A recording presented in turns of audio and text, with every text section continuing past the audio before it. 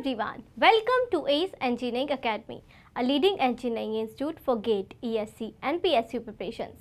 This video is all about a new job opportunity for you all by Navodaya Vidyalaya Samiti.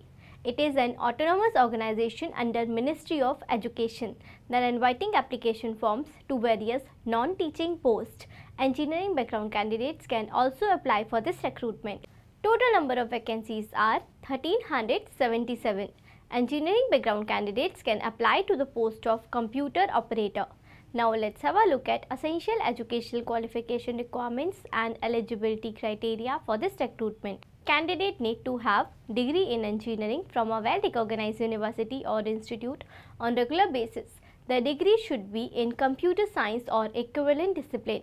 Now let's have a look at age limit requirements. Candidate minimum age should be 18 years and maximum age should not be more than 30 years. A relaxation to reserve category will be provided as per the norms. Now we'll talk about selection process of this recruitment. Candidate selection is based on written examination.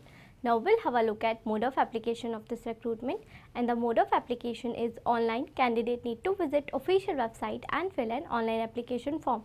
Application window is open from 22nd March 2024 till 30th April 2024. Candidate also need to pay non-refundable application fees of rupees 1000 from undeserved category and application fees is rupees 500 from SC, ST and PWD category candidates. That's all about important highlights given in this recruitment notification. If you want to view detailed advertisement, the link is available in the description box. If you like this video, do hit the like button and for regular updates on latest job opportunities and other informative videos like this, do not forget to subscribe our channel and press the bell icon.